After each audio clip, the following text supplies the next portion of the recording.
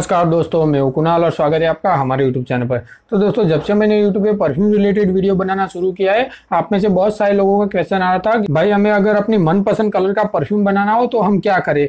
यानी कि अगर हमें उसके अंदर कलर ऐड करना हो तो हम कौन सा कलर ऐड करें? अगर हम उसके अंदर कोई कलर ऐड करते हैं तो उसका, उसकी क्वालिटी पे कोई इफ़ेक्ट पड़ता है या नहीं पड़ता है? और उसके बाद हम अगर उसको यूज़ करते हैं तो उससे अपने कपड़ों पर दाग धब्बे पड़ते हैं या नहीं पड़ते? तो दोस्तों, आज मैं आपको इस वीडियो में बताने वाला हूँ कि अगर आपको परफ्यूम के अंदर कोई कलर यूज़ करना है तो आप उसके अंदर कौन सा कलर यूज़ कर सकते हो, उसको कितनी मात्रा में यूज़ करना है और उसके अंदर कलर ऐड करने से उसकी क्वालिटी पे कोई फ़र्क पड़ता है या नहीं पड़ता है। तो दोस्तों, इस वीडियो को एंड तक देखिएगा और साथ ही में अगर आप परफ्यूम मतलब रूम फ्रेशनर बॉडी स्प्रे या फिनाइल परफ्यूम टॉपिको परफ्यूम के बारे में कोई भी जानकारी चाहते हो तो मेरे यूट्यूब चैनल पर जाके और भी वीडियो देख सकते हो। और साथ ही में दोस्तों, मेरे यूट्यूब चैनल को सब्सक्राइब करके पास वाला घंटी बटन भी दबा देना ताकि मैं परफ्यूम रिलेटेड जो भी वीडियो अपलोड करूँ, उसका नोटिफिकेशन भी आपको मिल जाए।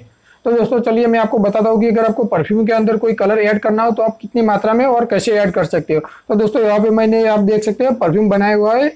और दोस्तों, इसको मैंने उसी तरह बनाया, जैसे मैंने पिछली वीडियो में बताया था कि हमने उसके अंदर अल्कोहल गैलेक्सोलाइड और फ्रेग्रेंस डालते हैं उसी तरह मैंने इस परफ्यूम को बनाया हुआ है। अगर आप, आपको उसका मेकिंग फॉर्मूला चाहिए तो आप मेरे यूट्यूब चैनल पे जाके वीडियो देख सकते हो, वहाँ से आपको इसका मेकिंग फॉर्मूला मिल जाएगा। तो दोस्तों, चलिए मैं इसको इस बीकर के अंदर निकाल देता हूँ।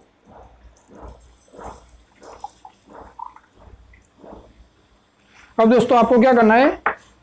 इसके अंदर कलर डालने के लिए आप कोई भी अपना लिक्विड फॉर्म या पाउडर फॉर्म वाला कलर यूज़ कर सकते हो। आपको इसके अंदर जो कलर यूज़ करना है, वो एक तरह का फ़ूड कलर आता है। आप यहाँ पे देख सकते हो ये फ़ूड कलर आपको किसी भी किराने की या मिठाई की दुकान पे मिल जाएगा। ये दो फॉर्म में आता है। एक पाउडर फॉर्म में भी आता है और लिक्विड फॉर्म में भी आता है। लेकिन आपको इसके अंदर डायरेक्ट यूज़ नहीं करना है। सबसे पहले आपको क्या करना है?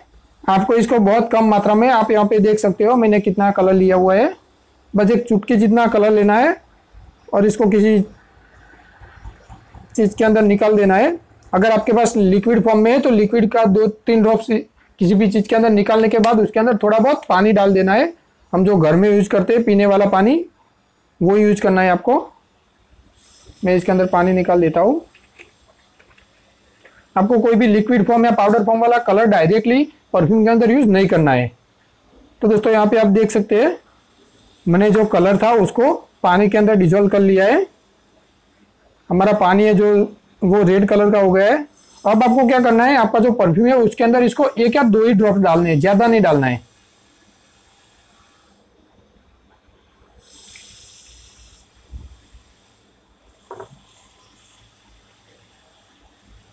तो दोस्तों, यहाँ पे आप देख सकते हैं, हमारा जो परफ्यूम है, वो कलरफुल हो है। अगर आपके पास दूसरा कलर का कोई भी परफ्यूम हो तो वो भी आप यूज़ कर सकते हो। और दोस्तों, इस तरह से आप अगर उसके अंदर कलर डालोगे तो आपके जो परफ्यूम है, उसकी क्वालिटी पे कोई फ़र्क नहीं आने वाला। आपका परफ्यूम जैसा है, वैसा ही रहेगा सिर्फ़ और सिर्फ़ उसका कलर चेंज होगा। लेकिन अगर आप उसके अंदर डायरेक्ट डालते हो कोई भी कलर तो उसकी, उससे उसकी क्वालिटी पे इफ़ेक्ट हो सकता है। कभी कभी क्या होता है कि अगर आप पाउडर फॉर्म को डायरेक्ट परफ्यूम के अंदर डालोगे तो उसके अंदर डिजोल्व ही नहीं होता। है इसकी, इसीलिए आपको क्या करना है, सबसे पहले पानी के अंदर उसको डिजोल्व कर लेना है, उसके बाद इसके अंदर ऐड करना है परफ्यूम के अंदर। तो दोस्तों, यहाँ पे आप देख सकते हो हमारा कलरफुल परफ्यूम रेडी हो गया अब हम इसके अंदर बॉटल के अंदर फिल करके उसको यूज़ करके ट्राई करते हैं।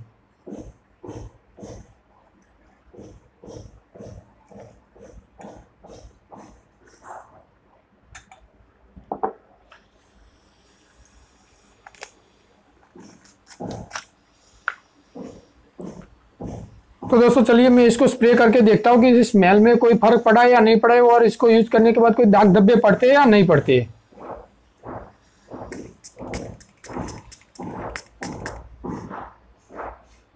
तो दोस्तों, इसकी स्मेल में तो कोई फ़र्क नहीं पड़ा है, लेकिन अगर बहुत सारे लोग पूछ रहे थे कि भाई हम उसको यूज़ करते हैं तो उसके दाग धब्बे पड़ते हैं हमारे कपड़ों पे। तो दोस्तों, बहुत सारे लोग क्या करते हैं, ऐसे ऐसे नज़दीक से स्प्रे करते हैं। तो क्या होगा कि आपका जो परफ्यूम का जो स्प्रे है, वो बहुत नज़दीक से बहुत गाढ़ी मात्रा में आता है तो उससे आपके कपड़ों पे दाग धब्बे पड़ सकते हैं। आपको ऐसा नहीं करना है, आपको इतने दूर रख के उसको स्प्रे करना है।